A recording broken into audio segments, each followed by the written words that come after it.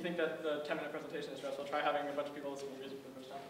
Um, but yeah, I think one thing I want to say before we go to the Q&A is just like um, the importance of asking why is something I really want to reemphasize because without like the courage of having to ask that really tough question, why is this the way that it is, I wouldn't have gotten here. I wouldn't have made that music.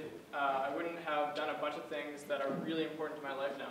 So if there's anything that you want that I think you should take away from this, it's not my model, it's not hip hop music, it's, it's ask why. That's what's really, really important. So that's me. Let's ask some questions now.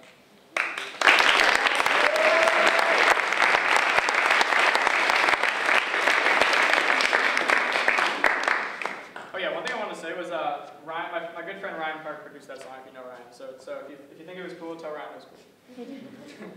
yeah. So the general premise of, of your uh, presentation here is how to talk about music, how to describe music? Yeah, and, Yeah. and, and maybe more deeply analyze it. But Yeah. So I'm curious about that because like, uh, I'm one of those people, and I think there are a number of us, I'd rather read reviews of a movie than see the movie. Interesting. I'm interested in what people have to say about the movie, and I'll read multiple reviews, and then, then maybe I'm ready to see the movie.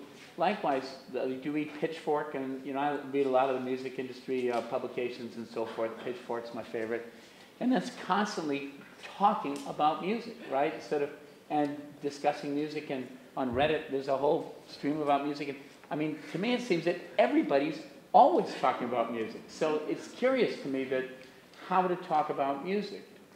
So that's a really interesting point. Um, music is, uh, is an, huge part of our culture, and because of that, you have a huge uh, amount of brain power devoted to it. But that doesn't change the fact that um, that it's still like um, basically there are a lot of people that talk about music, and they do it in different ways, and they get around the understanding gap in different ways. So um, I wish I could show it to you now. Um, uh, basically, I went in, I went through a bunch of YouTube reviewers um, reviewing the song Gucci Gang, and I made like a little pie chart graph of how they how they do it, and they use a lot of like little little like crutches. They